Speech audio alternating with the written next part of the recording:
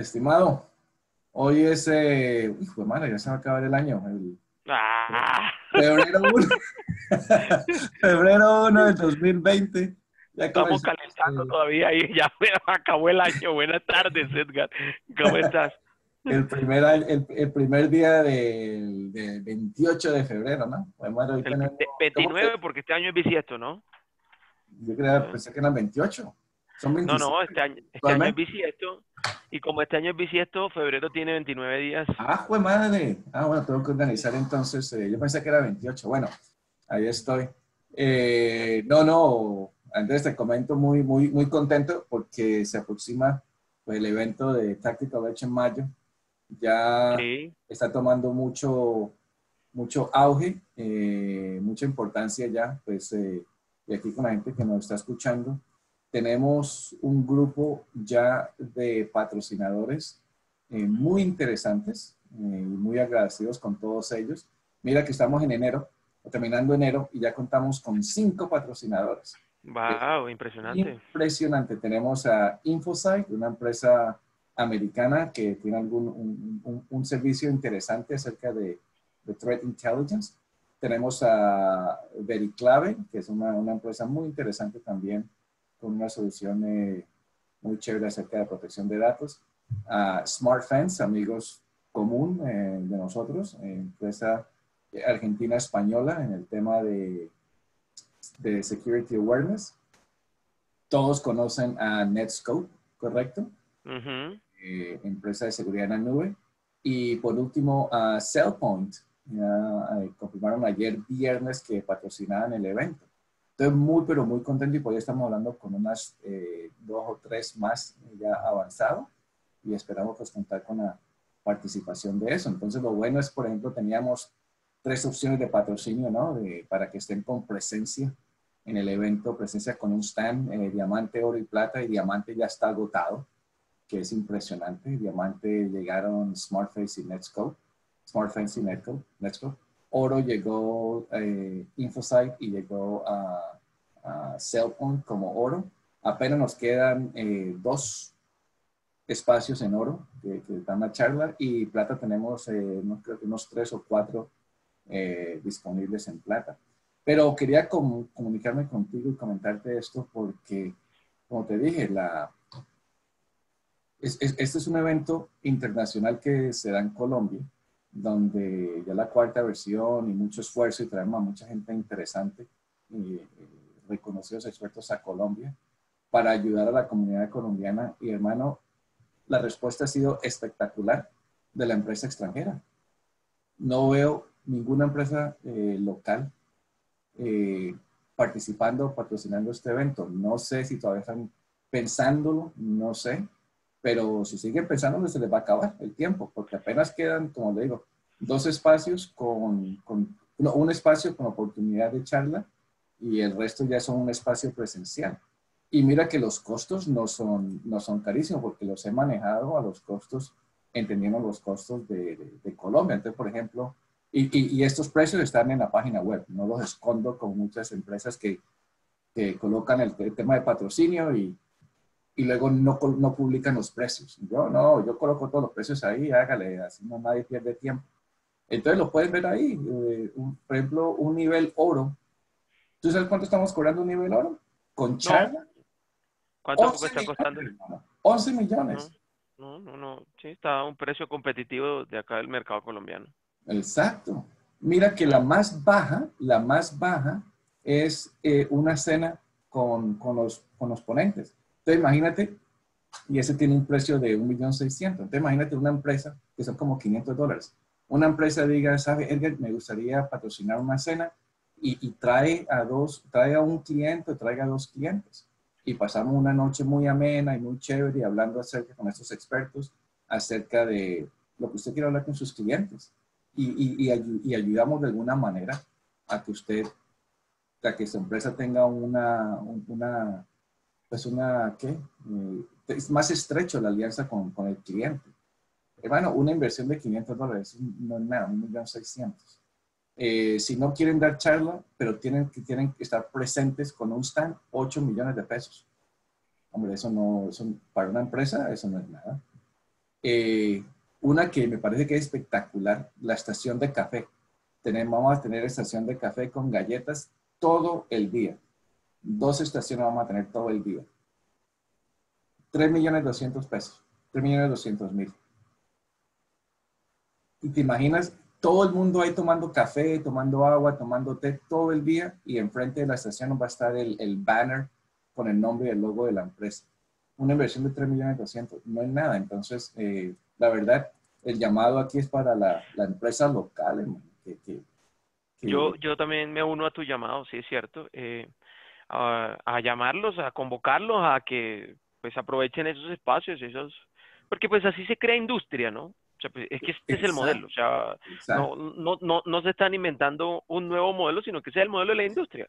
Hacen eventos, se hacen eventos, se patrocinan los eventos, los eventos viven de los patrocinios, los patrocinadores tienen acceso a las personas, eh, tienen conversaciones, tienen oportunidades, o sea, yo creo que está más que exacto. Y eso y es una buena inversión y de verdad eh, eh, es un llamado a la comunidad. El, el, el trabajo que tú y yo y, y, la otra gente que tú tienes, otras, eh, si no lo quieren patrocinar a nosotros, patrocinen a nosotros eventos que están ahí locales. Claro. Que salen en la ruta. De hecho, te iba a contar que con, con la publicación de la ruta de la seguridad que publicamos ayer, precisamente, eh, se me acercaron varios a, a, preguntarme que por qué no lo había tenido en cuenta. Yo le digo, pero yo, o sea, yo hice una convocatoria, tú fuiste uno de los testigos, convocamos a todos. Eh, entonces yo le dije, ahí es cuando uno se empieza a dar cuenta quién está conectado y quién está conectado con, con, con, las iniciativas para crecer. Me dijo, no, pues es que nosotros tenemos nuestro evento. yo le dije, bueno, eso se puede corregir. Lo importante claro. es que el mensaje queda. El mensaje queda que hay que estar conectados. Hay que seguir aunando esfuerzos, porque como lo bien lo acabas de decir, que si no pueden patrocinar en Tactical, por la razón que sea, que patrocinen las distintas iniciativas. Claro. Pues porque así se crea la industria el, el, el, y así se crean los mercados.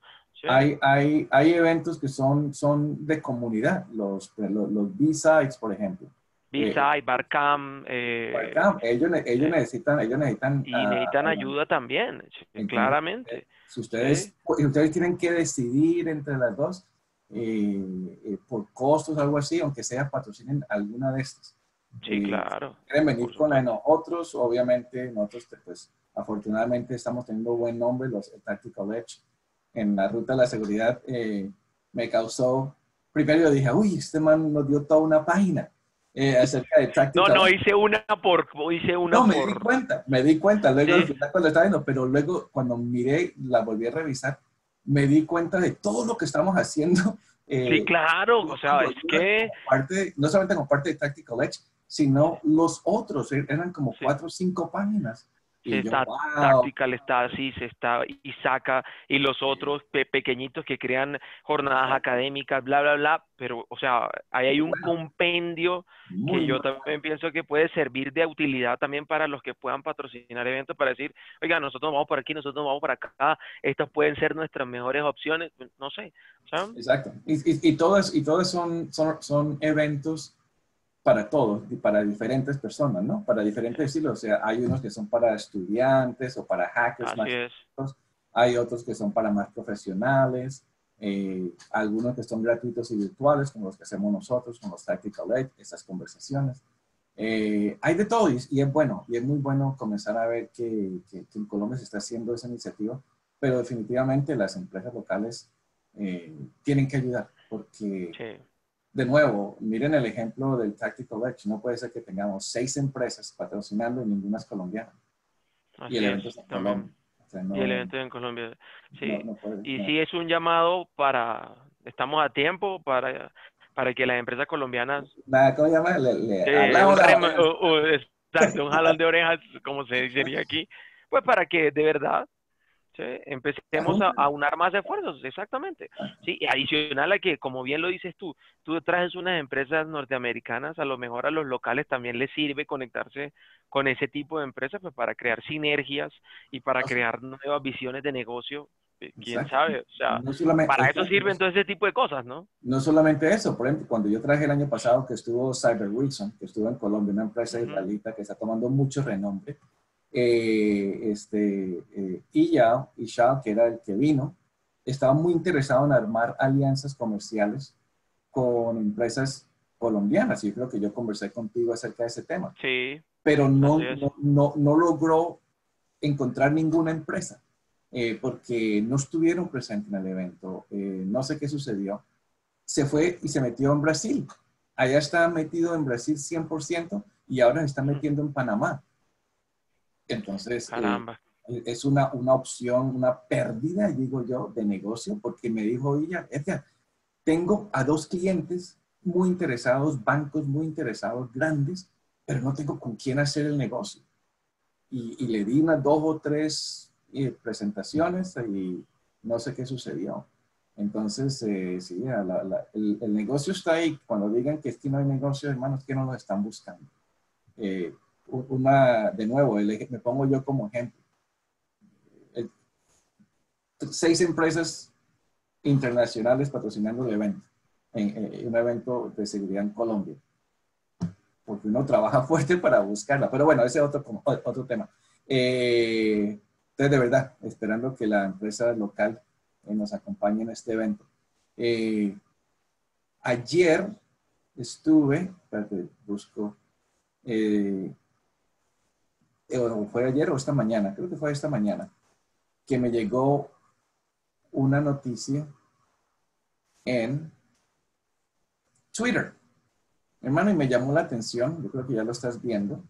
Esta es mi cuenta aquí de, Twitter. Eh, de ese tipo, eh, Bruce Almighty.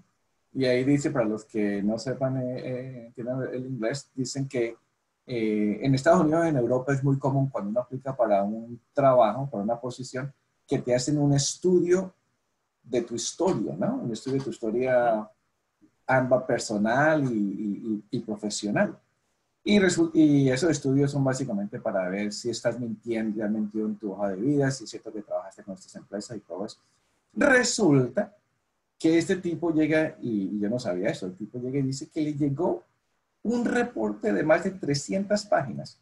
Aquí está la fotito, miren. Hmm. Le llegó a él más de 300 páginas, un reporte del historial acerca de él pero no era historial simplemente, solamente de, de trabajo, sino historia de todo el hijo de madre tweets a los cuales él le ha hecho un like con la palabra fuck en él. fuck es una palabra... Pues, sí, obviamente. Como dice, ah, miércoles, ¿eh? Sí. Y entonces, imagínate, hay un AI, este, esta empresa que hace, ha creado una AI para estudiar y resulta que si encuentra, ahí está el reporte, ¿verdad? Por aquí muestra un reporte. Mira el reporte que muestra, ¿lo pueden ver bien? Sí. Donde dice, estilo, el, tipo es malo. ¿Por qué es malo? Por alcohol. ¿Qué es lo que, le, qué es lo que hizo en este, en este post, en este mensaje de Twitter? Le dio un like le dio un like a un mensaje que, tenía que ver con alcohol. Y luego que dice de alcohol es que alguien quería, compró una botella grande de... vodka con pimienta. no, no, con de menta. Ah, peppermint. Ah, sí, sí, sí. Es menta. Ah, y por eso es malo. Oye, estamos, ¿cómo se dice dystopian? Por aquí, él lo dice esta palabrita no, sé cómo se dice en español. Dystopian. Distopía, sí, sí, sí. La palabra es el, para el español es la misma, una distopía. ¿Ves?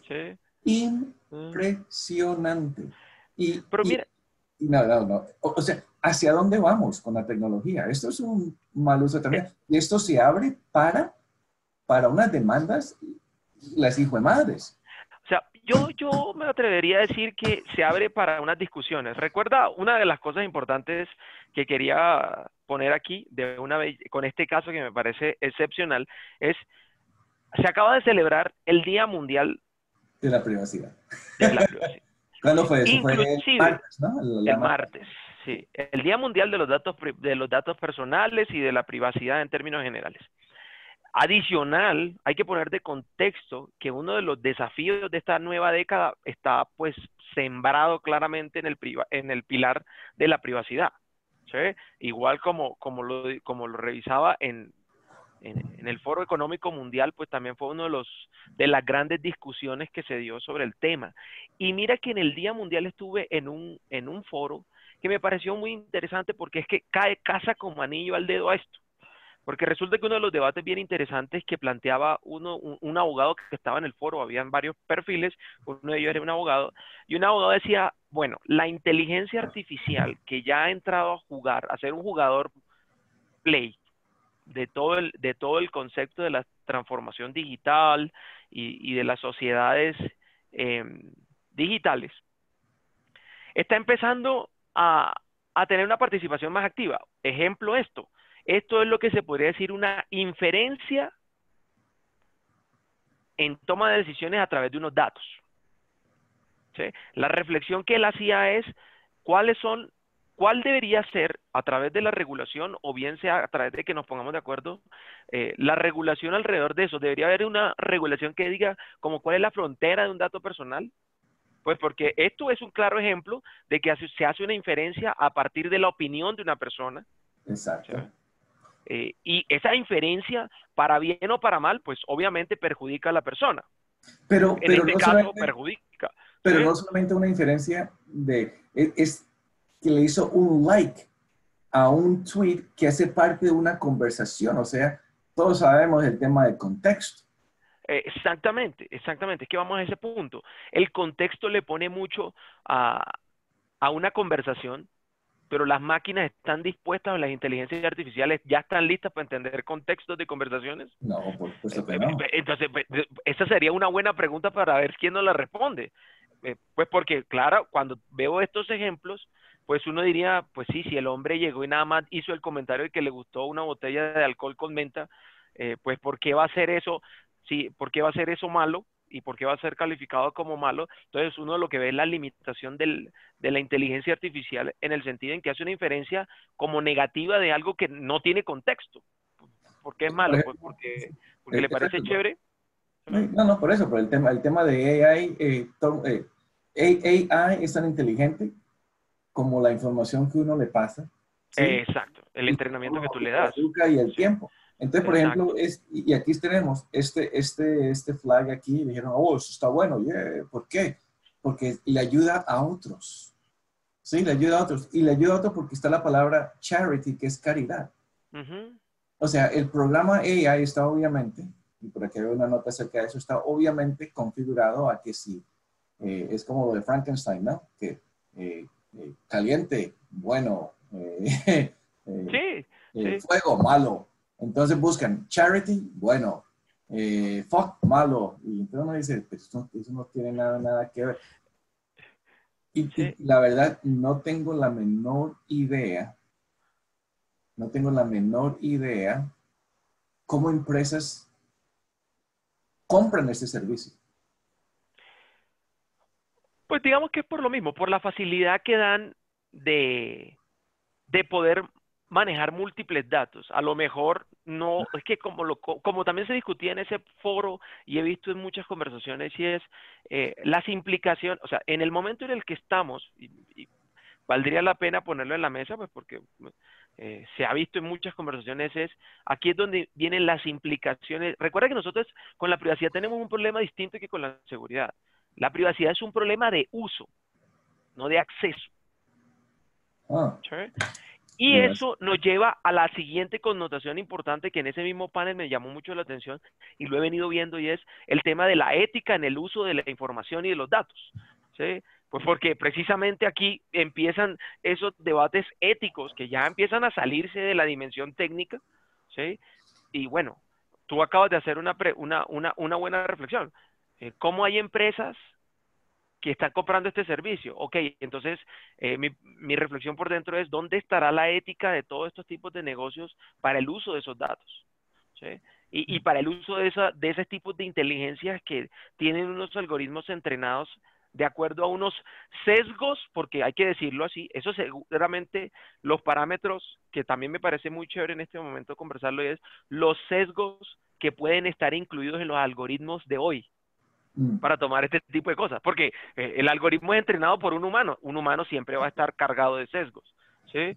Significará que la tecnología ya va a tener un sesgo, ¿sí? Pues acuérdate que, acuérdate que ese, esa AI que lanzó fue Microsoft o Google hace unos dos o tres años atrás, que lanzaron un, un AI para que aprenda y luego como en tres meses o menos de dos meses, no me acuerdo exacto, tuvieron que quitarlo porque el AI era muy racista. Sí, exacto. Basado en toda la información que, que, que, estudiaba, todos los mensajes de mucho, toda la gente, salió que, que el coso se puso racista. Entonces ahí vas lo que tú estás diciendo. Exactamente. El AI va a adoptar el, el la, lo, lo, del papá y la mamá. Como, algo así. Y inclusive, mira cómo tú lo pones ahí, preciso el resaltado que pones. El algoritmo empieza a hacer sesgos basados en la reputación o el carácter de una persona que es modelado, aparte de todo, por algunas reglas que eh, los humanos le hemos puesto para, para que pueda así hacer sus filtros. Entonces... pero, pero aquí va más allá, porque aquí lo que están diciendo es que este, este algoritmo de, del carajo hace que mi, que mi reputación y mi carácter sea, eh, ¿cómo se dice? Highlighted, así estoy eh, y, y que, que, sea considerado como cuestionable. ¿Cuestionable? Sí. Y, esta, y este reporte... Que, que pueda ser enviado a su jefe, exactamente. Y enviado a su al jefe. Oiga, yo no recomendamos que ustedes contraten a esta persona porque su su manera de ver el mundo es, eh, es cuestionable. Y eso oh. es que esto es nuevo, nuevo, pero relativamente no tan nuevo, ¿ah? porque no nos podemos olvidar que hoy muchas áreas, eh, por lo menos no sé si en Estados Unidos, pero por ejemplo aquí en Colombia, cuando a ti te van a hacer una entrevista de trabajo, a ti te hacen, antes se llamaba una visita domiciliaria, todavía hay esa figura. Sin embargo, lo que hacen los jefes de seguridad hoy dentro de sus áreas, y es una práctica ya muy conocida, es que lo primero que hacen es ver el reporte que hay en las redes sociales, o por lo menos te buscan, a ver qué dices tú. ¿sí? Y efectivamente esto es un ejercicio ya mucho más avanzado que hace que, que, que se generen juicios al respecto o alrededor de esta persona. Entonces ya las personas pueden condicionar que esta persona tiene algún, alguna tendencia hacia algún supuesto mal comportamiento. Y obviamente lo afecta, como lo bien lo menciona. Como bien lo menciona ahí. Exacto, no, eh, eh, Entonces, claro, nosotros estamos en, una, en, un momento eh, complejo, pues porque aquí es donde se ven los efectos de la famosa privacidad, ¿sí? Desdibujada, pues porque son los likes, es un dato personal, sí, pero mira lo que produce un like a través de una inteligencia artificial, un juicio de valor, un juicio de valor que puede, que puede incidir en otra persona, porque la IA no es la que hace el juicio de valor, el juicio de valor lo hace la persona. Que me está llegando un reporte que de 300 páginas en donde me dice que el 80% de las páginas son eh, clasificación mala. El juicio de valor lo hago yo. ¿Cuál es el juicio de valor? Oye, esa persona es mala. La inteligencia artificial no hizo ese juicio. La inteligencia artificial me da la, la información eh, para poder que yo decida algo en términos eh, de lo que me interesa. esta es la página de esta empresa y la puedo colocar porque está la foto ahí. No, no, y lo, y lo mejor es lo que dice en el, en el, en el inicio, ¿no? Si te fijaste arriba lo que dice... Primero que todo, mira acá abajo. No, por eso. Nosotros respetamos, pues, pues, sí, seguramente que la respetan. privacidad. Y se adhieren. ¿sí? Ah. Ah. Pero mira, mira, mira lo que dice acá, la forma más inteligente de controlar los ambientes tóxicos organizacionales o los, ambientes de trabajo tóxicos, ¿sí? o los comportamientos tóxicos en los ambientes de trabajo. Sí, o sea, o sea que, que puede identificar aquellas personas con, con problemas antes de, que contratan. Y lo, pero lo peor es este. Y actuales. O sea que ya pueden, eh, de acuerdo a ellos, que están diciendo ahí, yo no soy abogado, pero uno, entiende y lo que está diciendo ahí es que, hombre, venga, le hacemos, mire, todo lo que le encontré acerca de Andrés, ahora usted ya tiene una razón para, para echarlo, sin que Andrés diga es que no tiene ninguna razón. Aquí tenemos una, un reporte de 300 páginas. Exactamente, entonces vuelvo a mi, a mi reflexión anterior. Este tipo de cosas lo que hace es que genere juicios de valor Pues porque es la información, lo que hace esta información, lo que hace esta inteligencia artificial es reunir a través de una serie de filtros, patrones y entrenamiento eh, las tendencias comportamentales. Eso está perfecto, hasta ahí vamos bien. Eh, que ya los clasifique, los etiquete, bueno, ahí ya se, se traza una cuestionable, una, un, cuestionamiento de la ética con el uso del dato. Porque eso es técnicamente lo que está pasando. Eh, cuestionar éticamente el uso de ese dato. ¿Por qué si yo le doy un like a una palabra, bueno, en el caso del contexto del inglés fuck, eh, eh, sí, entonces, ¿a cuento de qué puede ser eso malo? Igual nosotros no podemos olvidar, aquí es donde, es que se, esto daría para mil conversaciones, Edgar, porque culturalmente hablando, sí, culturalmente hablando, por ejemplo, la palabra fuck nunca nació pensada en ser una grosería, sino que se transformó en el tiempo. Y, digamos que en los patrones culturales de la comunidad, de eh, culturas americanas y, y, sajonas, en términos generales anglosajones, eh, esa palabra empezó a transformarse en el tiempo, pero representaba una, una, una materialidad de inconformidad frente a ciertas situaciones. No solamente, eh, no solamente eso, no solamente eso, mire solamente en el español, o sea, algunas palabras en un país tienen un sentido completamente diferente en otro país. Por supuesto. Eh, eh, en, Colombia, en Colombia, tula es que la, bolsa, ¿no? La, tula, ¿sí?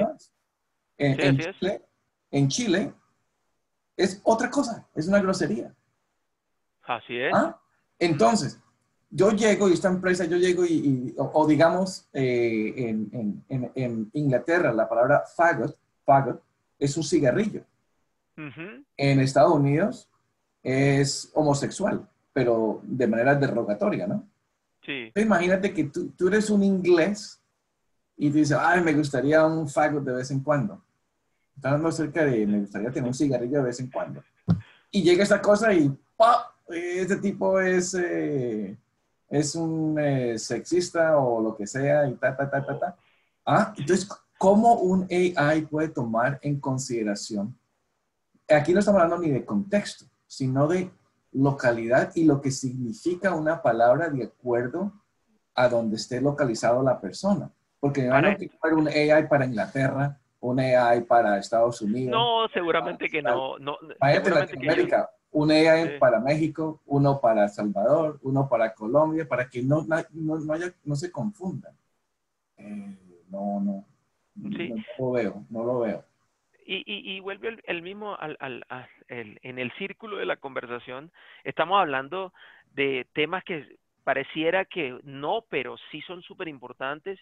Y una cosa como la ética en el uso de los datos se convierte en elementos claves que se vienen hablando. Y lo decía, en el Foro Económico Mundial se habló mucho de la ética del uso de los datos.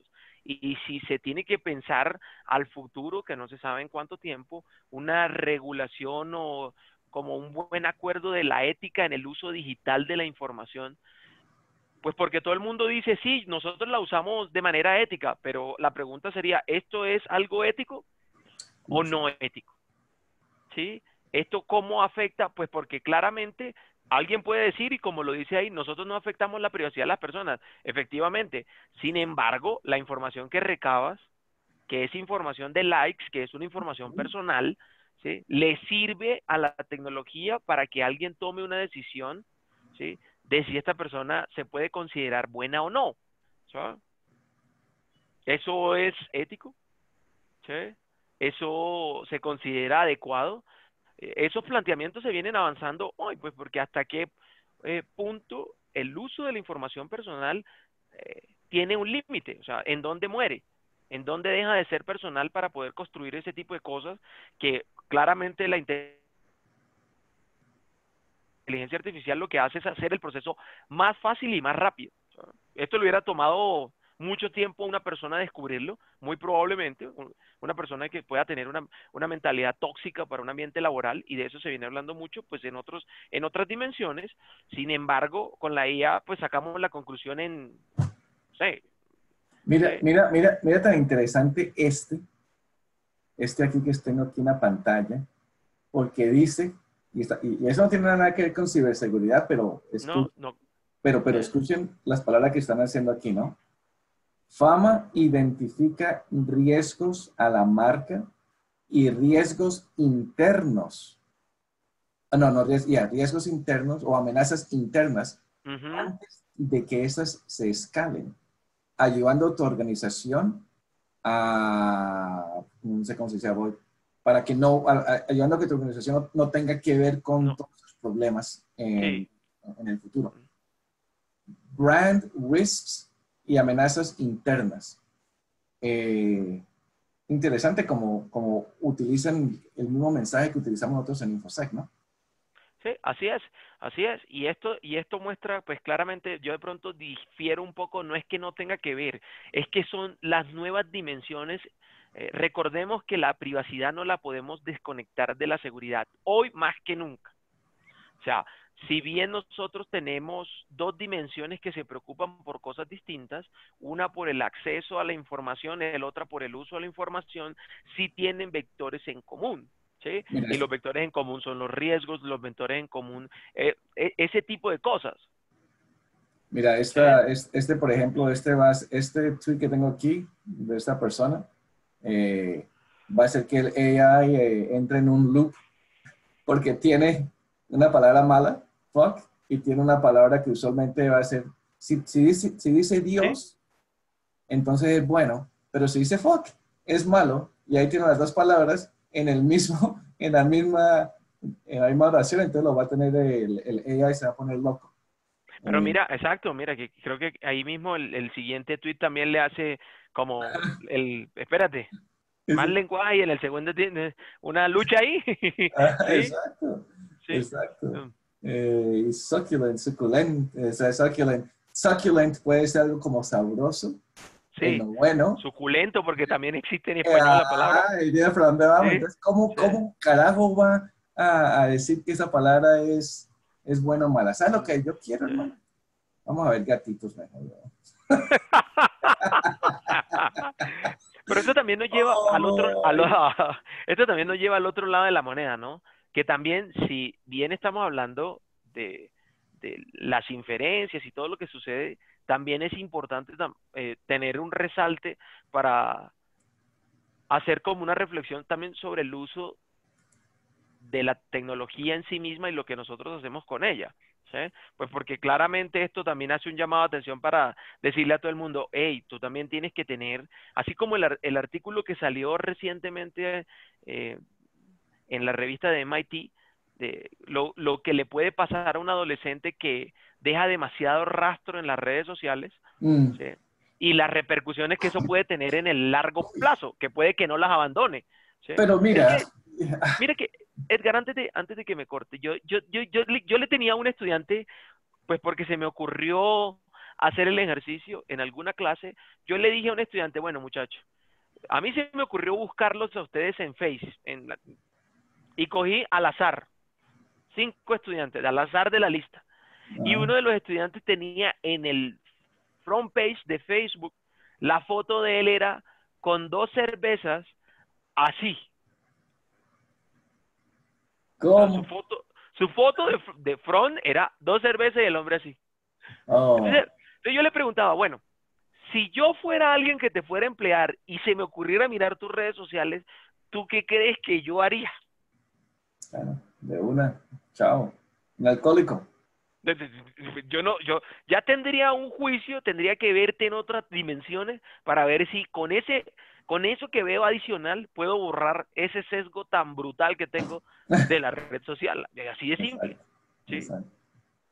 Entonces esta tecnología lo que está haciendo es facilitando un poco entre comillas, ese trabajo humano de estar buscando la información con, con condiciones como estas que claramente pueden vulnerar el juicio hacia él mismo. Y, sabes que, que, yo me he visto eh, escribiendo tweets o mensajes y luego lo, antes de hacer el, el, enter para enviarlo, lo leo de porque yo ya me he quemado donde escribo algo y luego lo envío y le digo, ay, pues madre, yo no debería haber hecho eso. Eh, esto los, eh, o sea, uno, uno lo lee y me dice, uy, no, yo no voy a colocar eso, porque aunque para uno no es algo como noticiosísimo, alguien lo puede utilizar de una manera errónea. Por supuesto. ¿eh? Entonces, esto viene como, como, lo quiero decir, eh, una manera de que convertir a la sociedad, y aquí necesitamos un psicólogo, convertir, o, sociólogos, una manera de convertir a la sociedad, de cambiar cómo la sociedad, la sociedad funciona. Es decir, antes uno tenía la libertad de expresión. Yo podría decir, Trump es lo mejor que hay. ¿sí? Eh, y, y, alguien viene y me dice, no, no, no, no, Trump es un, idiota y bla, bla, bla. Y ya, cada uno tiene su, opinión. Ahora, si yo salgo y digo Trump es, buenísimo, me van a atacar por todos lados y me, puede, y me puede causar problemas eh, físicos, ¿sí? Porque uno no sabe. Eh, entonces, uno ya, yo entonces, si yo voy a escribir algo así, yo digo, uy, yo mejor no lo escribo. ¿Qué lo que quiero decir? Entonces, esta tecnología está comenzando a, a cambiar lo que yo aceptaba anteriormente como libertad de expresión, porque yo ya no me siento que tengo libertad de expresión. Pero mira que tú también pones un tema que se ha discutido acá, porque aquí en Colombia lo, lo hemos vivido fuertemente, ¿sí? Y es si la libertad de expresión en los medios digitales o si la libertad de expresión se está transformando, también dónde están esas líneas delgadas de tu opinión, hasta dónde puede ser una libertad de opinión o de expresión que no afecte o no dañe a alguien. Porque aquí tú, hemos tenido muchos casos que dicen, es que me están coartando mi libertad de expresión. Pero entonces cuando tú ves los tweets, los tweets hacen relación a que él está despotricando a otra persona, ¿sí? Eh, sí no directamente. Entonces uno empieza a decir, bueno, hasta dónde hay una libertad y sí se han dado unos debates muy fuertes. Muy fuertes, sí, porque, porque, se puede ver de ambos lados. Pero no, claro, en punto, eh, porque la, cuando tú has leído la Isaac Asimov, eh, las Foundation Series, no sé cómo se dice en español, eh, Isaac Asimov, un escritor eh, americano que escribe ciencia ficción, ¿no? Es uno de los más famosos. Escribió las tres leyes del robot y todas esas cosas. Y él escribió en, en años 50, escribió eh, Foundation Series, no me acuerdo cómo era. Y hay un tipo que se llama Harry Seldon, creo que así se nombra el tiempo que no, no lo leo. Y este tipo decía que, eh, que la sociedad era como un ganado y que se podía, se podía eh, por medio de algoritmos, esto en los 50, ¿no? Por medio de algoritmos podrían cambiar y encaminar la sociedad en el rumbo que ellos querían. Ellos significan el grupo, porque supuestamente hay un grupo que maneja a la sociedad, ¿no? Que son los encargados de, de, cambiar el pensamiento y todo eso. Eh, él, él, dijo eso eh, muchos, muchos años. Y ahora uno mira esto, esto es un algoritmo que va a cambiar mucho a la, a la sociedad, porque esta no debe ser la única empresa. Fama. Seguramente que no es. Será una de las, de las, líderes que está ahí, será una de las nuevas que está ahí con, este, con esto, porque de nuevo, alguien contrató a Fama para que le hicieran un estudio a esta persona que aplicó para un trabajo para esta empresa X. Entonces, imagínate cuántas empresas no están contratando a esta gente. Y a mí ya me da miedo, especialmente la edad que yo estoy a los 53 años. Yo ya no puedo comenzar a, que pierda un, empleo por algo que dije, porque una de estas empresas desgraciadas fueron, hicieron un reporte, dijeron que es que Edgar es muy negativo porque se la, eh, o, o, que Edgar es muy malo porque la pasa es colocando fotos de gatos y a qué las trabaja. Entonces, eh, comienzan a, cambiar la manera que uno actúa. Y eso para mí es un cambio psicológico y social. Un cambio, de, un cambio muy profundo en la forma de entender nuestros modelos de comunicación, diría yo. ¿sí? Y de la forma en cómo nos entregan y entregamos información y cómo eso modela de alguna manera nuestro comportamiento. Por eso el tema de privacidad es muy importante, porque como dices Exactamente. como dices tú esto, eh, esto que estamos colocando o lo colocamos en una, en, un, en una plataforma que es pública, pero al mismo tiempo, o sea, es privado, es público, la información la pueden usar como, o sea, esto es algo que vamos a tocar en el Tactical Edge Virtual Inglés. Tenemos el evento en febrero 15. y, y, la doctora eh, Andrea Limbago va a hablar exactamente acerca de este tema de privacidad. Eh, y va a ser un tema muy interesante. Si, si entienden inglés, acompáñenos el 15 de febrero, que vamos a hablar acerca de ese tema. Y yo, voy, y, y yo voy a, a, hacerle preguntas acerca de este tema. Eh, ella, ella es una doctora PhD en el tema de privacidad y vamos a, muy interesante, interesado en saber exactamente qué opina ella acerca de esto. Y le voy a decir, el amigo mío, Andrés Almanza, me dio una joya y me dice que privacidad es un tema de uso, no de acceso. ¿Tú qué opinas? Eh, me interesa mucho escuchar eso porque es sencillo, pero es, es, es, fuerte, es fuerte y profunda.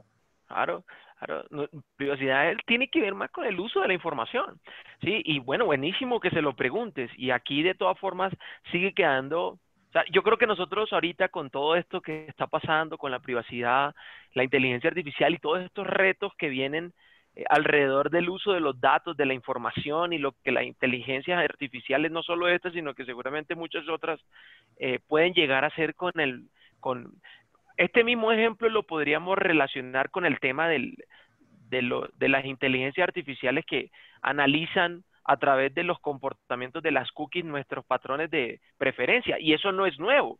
¿sí? E, ese algoritmo, de hecho, nació en los años 70. Eh, yo me acuerdo cuando me leí un libro que me pareció uno de los libros cuando estaba aprendiendo inglés, que me, y dije, me voy a forzar a leérmelo todo, un libro complejo que se llama El Poder de los Hábitos. Yo me lo leí todo en inglés. ¿sí? Para poder estudiar mejor el inglés cuando estaba viendo por fuera y me acuerdo tanto que el libro, la segunda parte, es la explicación de cómo, adivina quién creó el algoritmo, de hecho, el algoritmo, según el libro, lo creó Target. Target. Target creó el algoritmo de predicción de patrones a través de la compra física de las personas. Wow. Sí, Y, estamos hablando de los...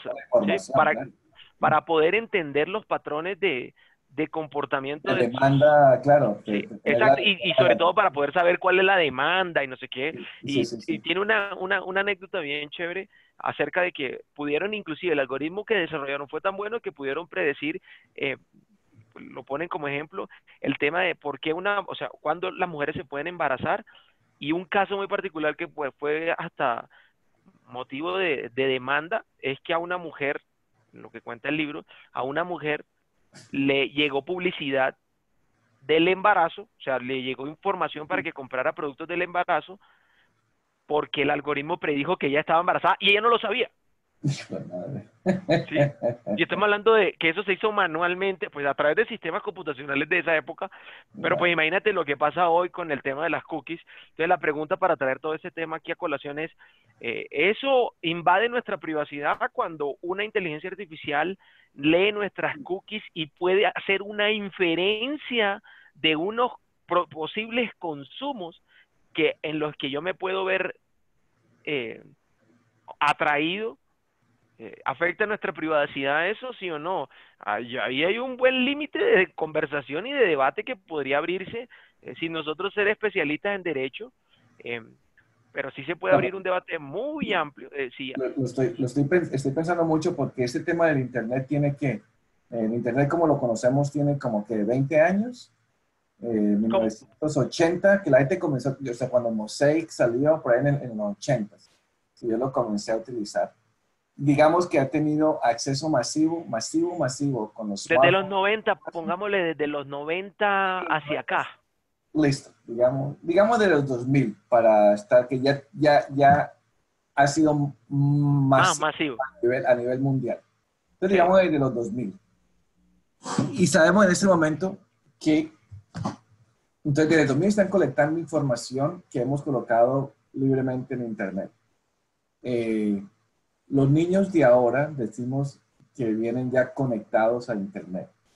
Y yo lo sé 100%, porque mi hija de 8 años, y como tiene cuentas de TikTok y todas esas cosas, o como llame ese coso chino, y de los videos y todo eso, y está en YouTube y, ve, y todas esas cosas. Ocho años. O sea, ellos nacieron conectados. Comenzando con, siguiendo con la conversación que tú tienes de cómo han cogido todos esos datos, esos algoritmos para predecir qué vamos a hacer en el futuro, hacia dónde vamos, y continuando con la conversación de lo que decía Isaac Asimov en ese libro de Foundation Series. Imagínate estos niños que nacieron en, en el 2005 en adelante, eh, o el 2010 en adelante, toda la información que tienen y que van a tener porque van a ser 100% conectados. Exactamente. O sea, nosotros, nosotros ya no estamos, nosotros decimos que, nosotros no, estamos conectados. Todos tenemos el celular. Todos tenemos el celular y está prendido todo el tiempo, ¿sí o no? ahí está prendido. ¿Sí? Estamos conectados 100%, aunque no lo estemos utilizando, está conectado. Entonces imagínate toda esa información que están colectando de todos nosotros y, y, y, y, que pueden utilizarla de nuevo para, para, para ver o como te dice, para predecir qué acción vamos a tomar, qué nos gusta. Hoy nos gusta el, el, verde, mañana nos gusta el morado. Eh, por ahí viene el, oh, no les va a gustar más el anaranjadito después. O sea, y comienzan a meternos propagandas y comerciales y productos de lo que ellos quieren que nosotros nos guste. Y eso, eso, eso es... Eh. Uno no lo puede comprender. Pues yo creo que ahí sí te complementaría y diría, pues va a tocar a nosotros que nos pongamos un poco más diestros para intentar, eh, como digo yo, eh, evolucionar más rápido en esa migración digital y intentar, intentar entenderlo mejor, pues porque de verdad que se abren demasiados debates con el tema del, del uso de los datos y con este tipo de tecnologías que veremos más discusiones de estas en el mercado, ¿sí? muchas. ¿sí? Entonces, no sé, bueno, listo, será buena idea entonces darle like a todos los gaticos. Sí, los gatitos, porque la madre están todos tiernos. Ay, Entonces van a decir, bueno, sí, Edgar es una persona eh, que tiene una tendencia a, gustarle lo tierno. Lo, bueno, está bien, Edgar es bueno. Aquí está, madre, Jimi Hendrix. Excelente. Oh, mira esta japonesita. Sí. Oh, esto sí es bonito. Ahora, mira, por ejemplo, esto. Eh, no sé, hacia, ahí la gente ha comenzado a decir que ahí comenzó el, el virus, el coronavirus y todas esas vainas. Eh, pero bueno, no, bueno, interesante esta conversación, esta conversación no tiene fin, no tiene fin, tiene principio, ya vemos lo que está sucediendo. Eh, en Colombia se utiliza esta clase de servicios o esta clase de, de chequeos de de pasado profesional de las personas. Tú dices que la gente que van a la casa se tiene una entrevista, pero eso es más para, eso pero es más un tema psicológico, ¿no? Para ver a domicilio, para, para verificar que tú tengas un buen comportamiento, que sea un comportamiento acorde a la cultura de la empresa. Y eso yo no veo nada malo. Pero hay esos servicios donde investigan tu pasado. Pues yo no, no sé si hay de esos servicios, no los conozco sinceramente. Yo lo que sí he visto es que lo que sí está pasando es que se ha evolucionado para hacer esos estudios, eso se llama realmente el proceso se llama estudio de seguridad. ¿sí? Es el que los estudios de seguridad los hacen las empresas de, de sus nuevos contratantes y ya ellos sí se encargan de mirar en redes sociales, no tanto como como un servicio de estos, de ir y contratar a alguien que me traiga todos los tweets, pero sí miran un poco como tus redes sociales, cómo te mueven en la red social, eh, un poquito de eso y con eso pues hacen su, su ejercicio.